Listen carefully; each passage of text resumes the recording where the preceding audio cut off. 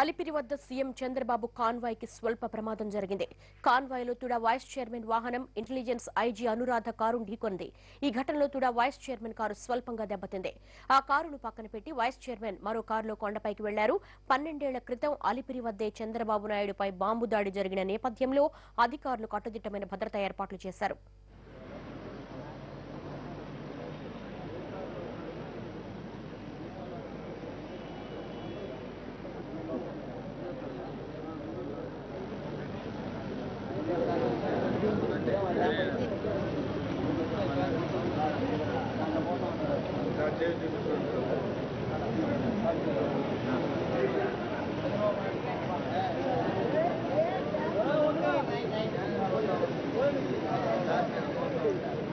Thank you.